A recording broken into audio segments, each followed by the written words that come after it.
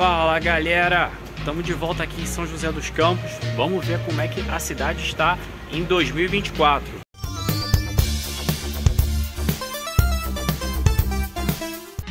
E logo ali atrás da gente, ali que a gente estava passando, é a rodoviária de São José. A gente desceu ali, passou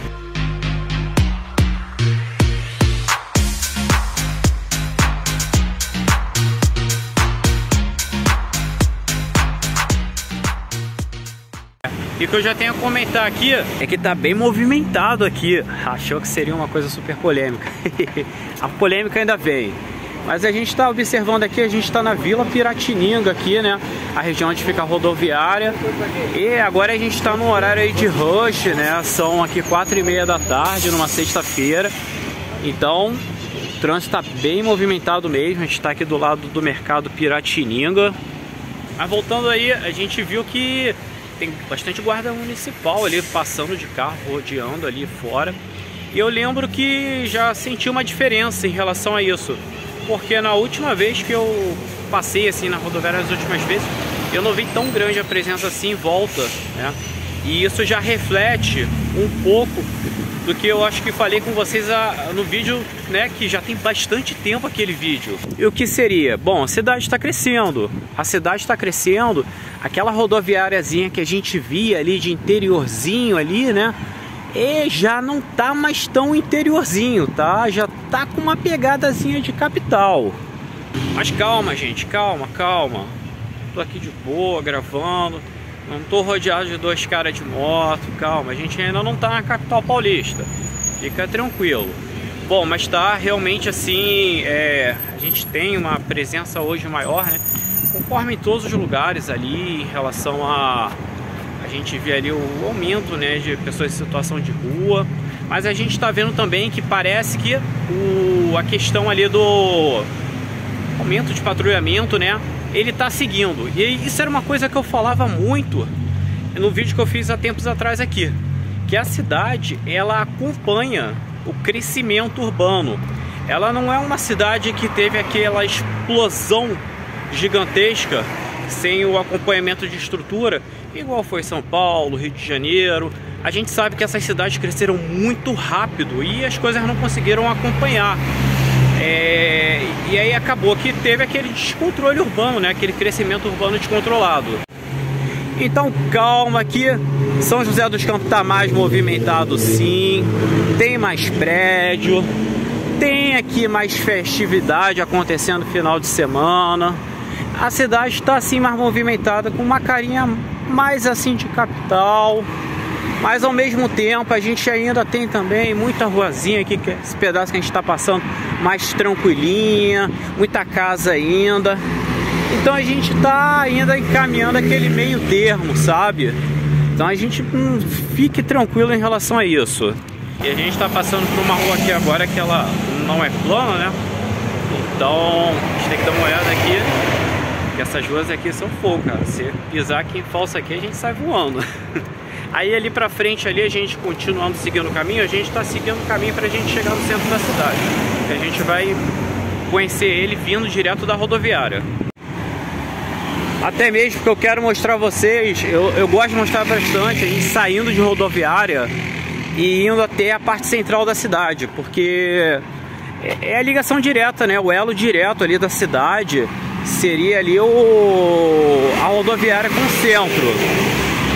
E vamos ver como é esse trajeto para a gente entender bem, porque assim é, não é tão perto assim do centro da cidade, a rodoviária, ela não fica ali no meio, mas também não é tão distante. Então a gente vai acompanhar.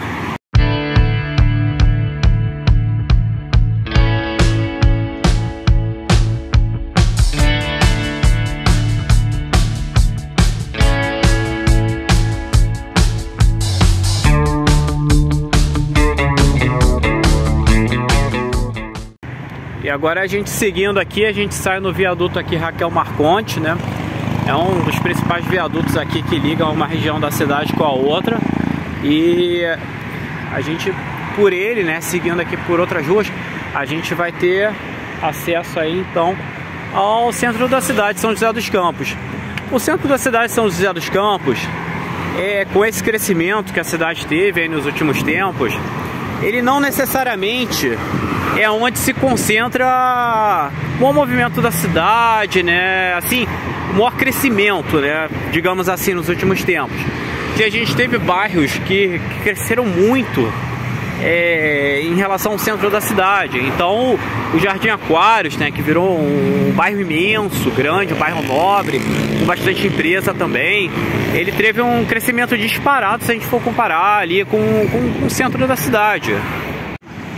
E a gente tem umas vistas aqui, né, interessantes do, do viaduto. a gente vê que tem bastante casa lá pra cima, né, aquela pegada meia de morro. Mas assim, pegada meio ao mesmo tempo de interior, né? Aí a gente já vira pra cá, já começa a ser uma pegada de prédio, a outra região da cidade aqui. Bastante prédio mesmo pra lá. Então São José dos Campos continua crescendo aí, mas continua bastante mesmo com esse, com esse misto aí, né? De interior, cidade. É, é, é um lugar peculiar, né? É, ele, você nunca sabe se você tá na cidade grande, interior tá ali, é, nossa, essa rua aqui parece que eu tô no meio da capital. Aí tu vira na outra rua, nossa, rua aqui já parece que eu tô realmente no interior. Então é realmente essa característica é muito forte mesmo que você vê por aqui. E aqui a gente já tá na Vila Santa Luzia. Os bairros aqui, em geral, eles são bem pequenos. É, por mais que a cidade não seja tão pequeno, a maioria assim dos bairros às vezes tem, sabe, uma quantidade bem pequena de ruas. Então acaba que Andou três quarteirões ali, você já está em outro bairro. Mas sim, existem bairros grandes, né? Conforme já mostrei no canal Jardim Satélite, né? O próprio Parque Aquários que eu comentei com vocês. Mas em maioria, andou três quarteirões, já mudou o bairro. E a gente está subindo aqui. Essa rua aqui já pegou uma subidinha, hein? A cidade em geral, ela tem de vez em quando, né? Uma característica bem grande de São Paulo. É, não ter tantas ruas planas, né? acaba que não é aquela ladeira imensa, mas às vezes começa a apertar um pouquinho. Mas aí dali para lá já começa já a voltar a ficar plano. E o transporte, né? Como, é, e aí, como é que ficou o transporte aí nesse meio tempo? Né? O que, que mudou? Bom, São José continua aí com seus pontos de ônibus bem característicos, né? Esse verdinho aí com, com a foto da, dos lugares turísticos né, da cidade, né? é, lugares mais, mais marcantes, né? E eles continuam muito bem conservadinhos. A gente vê que aqui em São José dos Campos a questão do vandalismo é muito pequena, porque esses pontos eles estão muito arrumadinhos ainda e já tem um bom tempo que foi implantado isso. E o transporte em si, a gente teve a implantação aqui, né, do VLP, que seria basicamente um ônibus elétrico no estilo sistema BRT, né? Aquele que ele para em estações e consequentemente ele não pega trânsito, que ele tem uma via só para ele. E esse tipo de conceito, ele ajudou bastante mesmo na cidade e ele está funcionando. É, na época tinha gente que achava que não ia para frente. Eu lembro que tinha muito comentário em rede social também falando: "Ah, isso é só por causa de eleição" depois o sistema vai ficar largado e não, não vai dar futuro e vão cancelar o sistema. Bom, tá rodando, tá funcionando, já tem bastante tempo que foi implantado e eu acho que isso é uma falta de costume que a gente tem no Brasil em ter coisa boa. Eu senti que foi muito isso, porque aqui no Brasil, em relação ao serviço público, a gente geralmente só tem aquilo já superlotado. É, é então, como não estava totalmente lotado, né? O serviço estava funcionando bem, bem tranquilo de entrar, sentar, não era aquela coisa. Dava-se a entender que, como culturalmente no Brasil a gente sabe que transporte público, se não tiver lotado, as empresas elas simplesmente cancelam aquela linha, aquele tipo de transporte, não ia dar certo. Mas ele continua funcionando, operando normalmente, então tá a mesma coisa. Então é mais uma coisa que deu certo. E a gente se aproximando aqui mais da região central, o trânsito está carregadinho. E a gente está ali inclusive com, com o ônibus aí que eu tava falando, ó, operando normal aí, o ônibus da linha verde. Esse pedaço do centro ele não ganhou via exclusiva. Isso inclusive é uma coisa que acontece em algumas capitais também, que simplesmente, cara, é Brasil, cara. É, não tinha nem espaço para fazer. Então, em alguns locais assim, ele realmente não fica com, ele tem que compartilhar, né, em certos pedaços curtos, né? É, segundo é, quem, quem cria né, partes de mobilidade, fala que não vai influenciar muita coisa, né? Mas se a gente vê um sistema de BRT aí de, de país mais desenvolvido, a gente vê que, que realmente ele tem 100% uma via só para ele. Mas assim, é, funciona, né? É muito melhor do que o, realmente o transporte aí convencional, né? Pega um trânsito, né? A gente ainda aqui, a gente ainda tá ainda no interior, a gente não tem trânsitos tão caóticos. Mas se correr, né, de ter um acidente, algo parar mesmo, legal algum pedaço, é uma mão na roda, ajuda muito esse tipo de transporte. Bom, e empregabilidade. Eu fiz um vídeo já falando sobre isso. E assim, galera, Brasil, mesma coisa, galera, mesma coisa. Eu não vou me aprofundar tonto nesses assuntos assim com vocês, porque a gente sabe, cara, a gente vê os índices de desemprego do Brasil, a gente vê que o emprego é proporcional ao porte da cidade, já falei isso muito com vocês. E, e assim, aqui é aquele clima médio.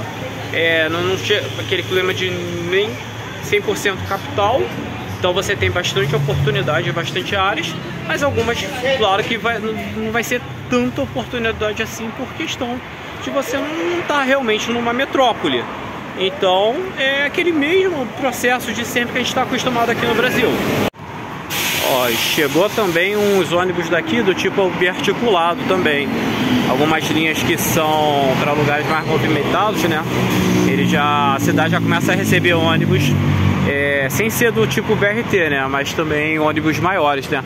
Isso inclusive é uma característica muito forte da capital paulista que opera muito com esse tipo de ônibus e é uma coisa que me revolta demais que eu vejo é no Rio de Janeiro que são ônibus super cheios, movimento de praia, e a prefeitura continua insistindo, sem ser no sistema BRT, nas linhas convencionais, em ônibus de tamanho normal, sem ser do tipo biarticulado duplo. É, gente, é, é, metrópole tem que ter esse tipo de ônibus. A gente até aqui no, no interior a gente já está começando a, a, jogar. A gente vê aí muita cidade, Campinas, né, já está em um sistema de BRT também grande.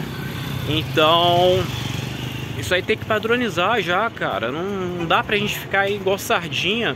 Tem que botar ônibus grande. O Brasil é super populoso. E aqui a gente já começa já a entrar mesmo na região central. E o que a gente vê muito também é a questão da especulação imobiliária. Isso é uma coisa que deu uma boa mudada.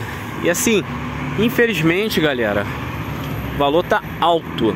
O valor tá alto não para de aumentar.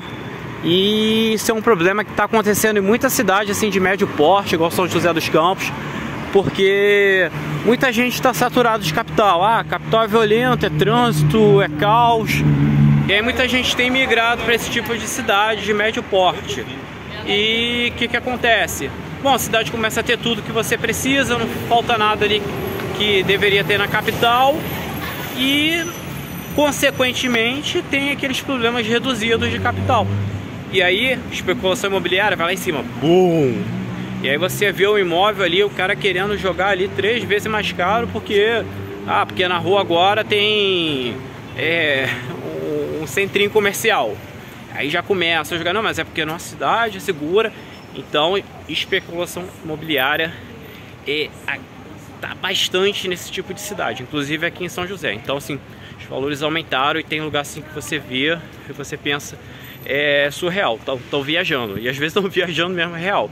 E é, tudo bem, é, tá melhorado, mas vamos com calma, vamos com o pé no chão que, que, é, que a gente está em Londres não também, amigo. Uma outra coisa também, ainda em especulação imobiliária, é que as construções novas estão começando a ganhar varanda, já estão umas construções assim, mais assim, é, puxada mesmo pra parte nobre, né? E a, a, gente tem visto isso, que essas novas construções estão todas seguindo esse, esse padrão, que é um padrão assim, meio nada a ver com o padrão brasileiro, né? O padrão brasileiro a gente sabe que salário mínimo é aquilo, a maioria ganha salário mínimo, então assim, a gente vê que tá ficando difícil alguém adquirir um imóvel com o passar do tempo. Uma coisa que continua também assim bem legal é novamente a conservação da cidade. A gente vê que essas pracinhas assim espalhadas pelo centro assim, cara, você vê assim, não, não você não vê lixo, cara. você não vê lixo. Mas assim, não é normal ver assim centro de cidade assim tão limpinho no no Brasil. Então, isso continua bastante. Então a gente vê que o cuidado com a cidade ele continua, isso, isso não mudou.